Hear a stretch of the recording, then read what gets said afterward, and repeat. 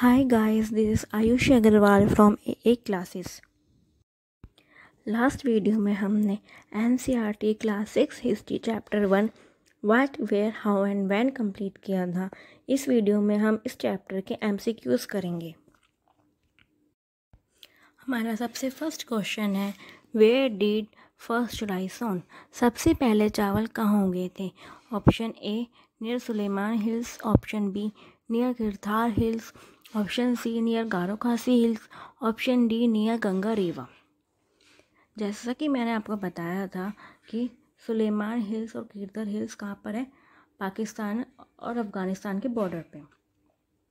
गारो Khasi hills Meghalaya, Ganga river आपको पूरा पता ही है। यहाँ से ऐसे इसका पूरा एरिया आता है। उत्तराखंड से निकलती है ये। और कहाँ जाती है? बांग्लादेश में। ओके तो इसका आंसर है हमारा गारो खासी हिल्स। सबसे सबसे पहले चावल, गारो खासी हिल्स, जो कि मेघालय में है, वहाँ पे और विंध्यास वाले एरिया में। वहाँ पे हुए थे। ये देखिए, ये है हमारा किरथार यहाँ है हमारा किरथार किरथार यहाँ है सुलेमान। ये रहा गारो खासी और ये है विंध्यास। और ये है गंगा का, गंगा रिवर की जगह। ठीक है? किरतार और सुलेमान हमारे अफ़गानिस्तान और पाकिस्तान के बॉर्डर पे, जैसे आप देख पा रहे हैं, ये हिल्स है। ठीक है? पहाड़ियाँ हैं। कारो खासी भी पहाड़ियाँ हैं। विंध्यास भी एक पहाड़ियाँ हैं। ठीक है? उसके बाद यहाँ पे आया रहा है, यहाँ पे गंगा रिवर्स गंगा रिवर का एरिया तो सबसे पहले जो हमारे बुक में लिखा हुआ है, सबसे पहले जो चावल हो गए हैं, वो हो गए हैं गारो खासी हिल्स के पास में। ये जगह है एक बार मैं फिर से दिखा देती हूँ। ये जगह है इस एरिया में, ठीक है? तो गाइस इसका आंसर क्या था? गारो खासी हिल्स, ठीक है? हम नेक्स्ट क्वेश्चन करते हैं। नेक्स्ट क्वेश्चन है हमारा which rivers bank did people live along in the Asian time किस नदी के किनारे सबसे पहले लोग रहने, बसे थे? सबसे पहले लोग रहने आए थे। कहाँ बसना शुरू किया था लोगों ने? गंगा रिवर के किनारे, नर्मदा रिवर के किनारे, सतलुज रिवर के किनारे या सोन नदी के किनारे? सबसे पहले लोग, लोगों ने बसना शुरू किया था नर्मदा रिवर के किनारे। ये निकलती कहाँ से है? ये निकलती है अमरकंटक की पहाड़ियों से। अभी मैंने आपको बताया था कि ये यहाँ पे आता है विंध्या, फिर आती है नर्मदा, फिर आते सतपुड़ा रेंज विंध्या, नर्मदा है, फिर आता है सतपुड़ा.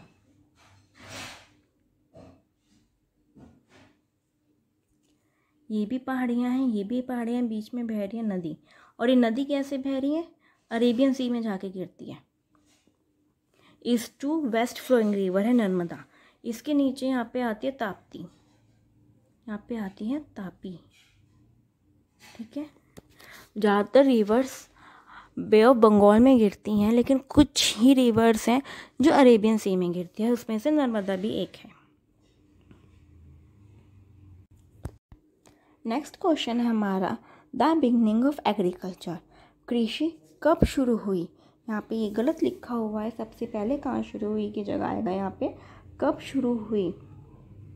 कृषि हमारी शुरू हुई option A three thousand years ago option B four thousand five hundred year ago option C eight thousand years ago option D two thousand five hundred years ago इसका आंसर है option C eight thousand years ago सबसे पहले शुरू हुई है किरथार और सुलेमान की पहाड़ियों पे। और ये शुरू हुई है एक एट थाउज़ेंड ईयर्स एगो यानी कि आज से एट थाउज़ेंड आठ हज़ार साल पहले। ओके गाइस नेक्स्ट क्वेश्चन है हमारा। Question fourth in Asian times the area along Son river south of the Ganga was known as dash now laying in the state of Bihar प्राचीन काल में सोन नदी गंगा के दक्षिण में के आसपास के क्षेत्र को डैश के नाम से जाना जाता था, जो वर्तमान में बिहार में है। अभी क्या कह रहा है? सोन रिवर कहाँ है? ये यहाँ गंगा है, ठीक है? इसकी एक ट्रिब्यूटरी है सोन। ट्रिब्यूटरी यानी कि सहायक नदी। जो कि मैंने आपको बताया था, सहायक नदी क्या होती है? जो एक बड़ी नदी की छोटी छोटी पार्ट होते हैं। जी जैसे कि गंगा बड़ी नदी है इसको एक छोटी नदी आके मिल जाती है। इसको हम बोलते हैं सहायक नदी। अब इसमें क्या लिखा है? प्राचीन काल में सोन नदी। सोन नदी का है? गंगा के दक्षिण में। ये है गंगा, ये है गंगा, ठीक है? यहाँ आ गया नॉर्थ ये आ गया साउथ, यहाँ आ गया उत्तर, यहाँ आ गया दक्षिण। तो इसके दक्षिण में है सोन नदी। इसके नीचे बहती है यहाँ पे सोन नदी। उसके आसपास का जो क्षेत्र था यानी जो सोन नदी के आसपास का जो क्षेत्र था, यहाँ पे गंगा आ गया, यहाँ पे आ गई सोन, जो इसके आसपास का जो ये एरिया था, उसको क्या कहते हैं? जो इसके आसपास का जो ये एरिया था, जो आपकी बिहार में है। बिहार कहाँ पर है? इंडिया में। इंडिया का एक पार्ट है। बिहार एक स्टेट है बिहार। तो उसके जो आसपास का जो एरिया था, उसको पहले क्या बोलते थे? पुराने टाइम में। उसको हम बोलते थे मगध या फिर विंध्यास, सतपुड़ा या गारो। इसका आंसर है ए मग, ए मगध। मैंने अभी आपको लास्ट वीडियो में लास्ट क्वेश्चन में बताया भी है। विंध्यास क्या है हिल्स? इसके नीचे बहती है नर्मदा, फिर इसके नीचे आती है सतपुड़ा। ये भी एक हिल्स है। ठीक है, पहाड़ियाँ हैं। यहाँ पे भी पहाड़ियाँ हैं। ये क्या है? ये है रिवर यहाँ पे नदी आ रही है। यहाँ नदी बह रही है। और गारो क्या है ये भी हिल्स है। ये तीनों हिल्स हैं, ठीक है? मगध एक देश, राज्य का नाम है। अगर हमें आंसर नहीं भी पता ना तो हम ऐसे भी कर सकते हैं ऑड वन आउट की तरह। कि तीर हम निकाल लेते हैं कि ये भी हिल्स है, ये भी हिल्स है, ये भी हिल्स है, और मगध का हमें नहीं भी पता आंसर तो हम ऐसे निकाल सकते हैं कि मगध ही होगा इसका आंसर ओके नेक्स्ट क्वेश्चन है हमारा where is Sulaiman hills Sulaiman hills कहाँ पर है? Option A north east option B north west option C south east option D south west आपको शायद से ये पता भी होंगे। ये होते हैं नॉर्थ यहाँ होता है साउथ यहाँ होता है ईस्ट यहाँ होता है वेस्ट ठीक है?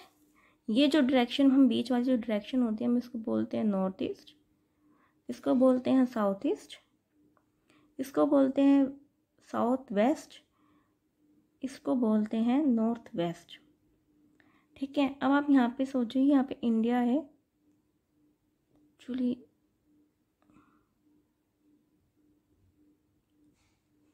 ऐसे।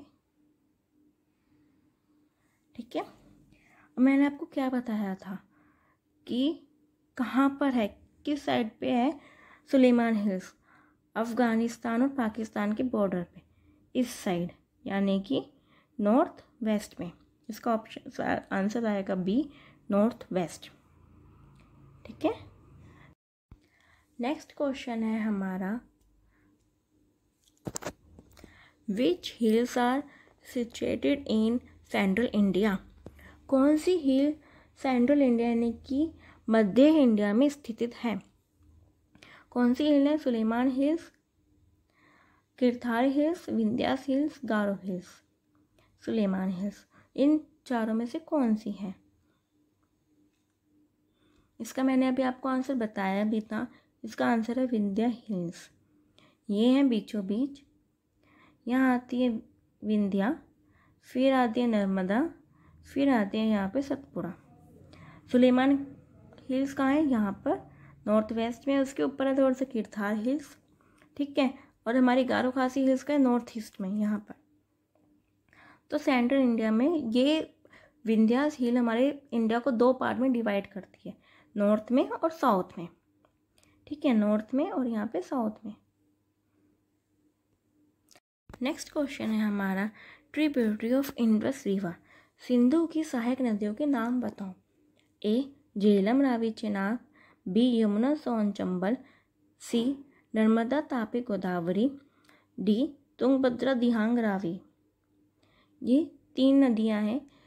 इनमें से कौन सी सिंधु की सहायक नदी है? मैं सहायक नदी क्या होती है? मैं आपको अभी पहले भी बता चुकी हूँ। एक होती है हमारी मेन रिवर। ठीक है? ये हो गई हमारी मेन रिवर। उसकी छोटी छोटी छोटी छोटी कई पार्ट्स पे होती हैं। एक, दो, तीन, चार, कितनी मर्ज़ी हो सकती है। सहायक नदियाँ, यानी कि छोटी होती हैं लेंथ में। इसमें आके ये अपना पानी छोड़ देती हैं इन नदियों में आकर। कहते हैं हम? मिल जाती हैं इन नदियों में आकर। ठीक है? उनको बोलते हैं हम सहायक नदियाँ। तो ये सारी क्या हो गई? ये जो छोटी छोटी छोटी जितनी भी हैं ये ये सारी हो गई हमारी सहायक नदियाँ। ठीक है? अब यह सिंधु की सहायक नदी कौन सी है? झेलम, राबी, चेनाब या फिर यमुना, सोन, चंबल, नर्मदा, तापी, गोदावरी, डी, तुंगभद्रा, दिहांग या रावी? सिंधु की सहायक नदियाँ सिंधु या इंदस रिवर की सहायक नदियाँ झेलम, रावी, चेनाब। ये है हमारा आंसर। ठीक है? यमुना, सोन, चंबल ये सारी गंगा की हैं। नर्मदा और तापी वेस्ट फ्लोइंग रिवर्स हैं, जो इससे ऐसे इधर अरेबियन सी में गिरती हैं। ठीक है? गोदावरी साउथ की ही है। इसको दक्षिण की गंगा या दक्षिणी गंगा भी बोलते हैं, जो कि अरेबियन सी में गिरती है। तुंगभद्रा कृष्णा रिवर की सहायक रिवर है। दिहा नॉर्थ ईस्ट की रिवर है और रावी तो है ही सिंधु की सहायक river okay guys next question है हमारा। Earliest composition in Sanskrit about thirty five hundred years ago लगभग पैंतीस सौ साल पुरानी संस्कृत की आरंभिक कृति, यानी कि जो सबसे पहले कृति लिखी गई थी संस्कृत में, वो कौन सी है? ऋग्वेद, यजुर्वेद, अर्थवेद, सामवेद। ये चारों ही हमारे चार वेद हैं। ठीक है? क्या है? चार वेद। ऋग्वेद, अजुर्वेद और सामवेद को मिला के त्रिवेद बनते हैं। अर्थवेद को इसमें नहीं मिलाते हैं। इन तीनों को मिला के हमारे त्रिवेद बोलते हैं हम इन तीनों को। त्रिवेद कौन कौन है? त्रिवेद है हमारे ऋग्वेद। त्रिवेदास फ़र्स्ट आता है हमारा ऋग्वेद। यानी कि ऋग्वेद। सेकंड है यजुर्वेद। थर्ड है सामवेद। ठीक है फ़र्स्ट सेकंड एंड थर्ड तीन रेड को मिला के हम बोलते हैं त्रिवेद अब इसमें लिखा है सबसे पुरानी, इनमें से भी सबसे पुरानी कृति कौन सी है? ठीक है, सबसे पुरानी आरंभिक कृति, यानी कि जो सबसे पहले लिखा गया था। अब इतने साल पहले लिखा गया तो सिंपल सी बात है, वो मैन्यूस्क्रिप्ट होंगी, जो हाथ से लिखी गई होंगी। और पाम लीफ ताड़ पत्रों या फिर ब्रिज की छाल, यानी कि बुर्ज नाम की पेड़ की छाल के ऊपर लिखा गया होगा। ठीक है, अब ये सबसे पुरानी जो कंपोजिशन है, वो है हमारे ऋग्वेद। इसका आंसर है ऋग्वेद। नेक्स्ट क्वेश्चन है हमारा earlier cities flourish on the bank of which river आरंभिक नगर किस नदी के किनारे फले फूले? Ganga and its tributary B Indus and its tributary C Krishna and tributary D none of this Ganga या उसकी सहायक नदी के किनारे, सिंधु और उसकी सहायक नदी के किनारे, कृष्णा और उसकी सहायक नदी के किनारे, या इनमें से कोई नहीं? इसका आंसर है B, Indus and its tributary Sindhu उसकी सहायक नदी के किनारे। इस सभ्यता को हम बोलते भी हैं सिंधु घाटी सभ्यता या फिर हड़प्पा सभ्यता। अब सिंधु की सहायक नदियाँ क्या क्या हैं? झेलम, रावी, चेनाब, सतलुज, नुब्रा, एक ऊपर आती है यहाँ पे, इंडिया में मिलती है उसको नुब्रा शयोग ऐसे ही ठीक है? नेक्स्ट क्वेश्चन है हमारा which statement is true India is subcontinent India एक उपमहाद्वीप है B India is surrounded by three water bodies India तीन तरफ़ से पानी से घिरा हुआ है। हाँ पहली बात तो हमारी सही है कि इंडिया एक सब कॉन्टिनेंट है इंडिया एक उपमहाद्वीप है। ये हमारी बुक में भी जगह जगह लिखा हुआ है। अब उपमहाद्वीप कहते किसको हैं? जिसके पास पहाड़ों पहाड़ियाँ हों डेजर्ट भी हैं, नदियाँ भी हैं, सब कुछ है, जो एक पूरे कॉन्टिनेंट यानी कि पूरे महाद्वीप में होता है, वहाँ पे इंडिया के पास वो सब कुछ है। इंडिया तीन तरफ़ से पानी से भी घिरा हुआ है, इसलिए इसको एक उपमहाद्वीप बोलते हैं, ठीक है? बी है India surrounded by three water bodies हाँ ये तो मैंने अभी आपको बताया कि इंडिया तीन तरफ़ से पानी से घिरा हुआ है। जैसे ये देखिए, यहाँ पे है अरेबियन सी यानी कि अरब सागर, यहाँ है बे ऑफ़ बंगाल यानी कि बंगाल की खाड़ी, यहाँ है इंडियन ओशन यानी कि हिंद महासागर। हाँ तो इंडिया तीन तरफ़ से पानी से घिरा हुआ है, यानी कि ए और बी दोनों ही सही है। यानी इसका आंसर होगा सी बोथ आर ट्रू आज बस हम यहाँ तक करेंगे। कल हम इसकी आगे क्वेश्चन करेंगे। अगर आपको मेरी वीडियो अच्छी लग रही हो प्लीज़ लाइक सब्सक्राइब शेयर ज़रूर कीजिएगा। Thank you guys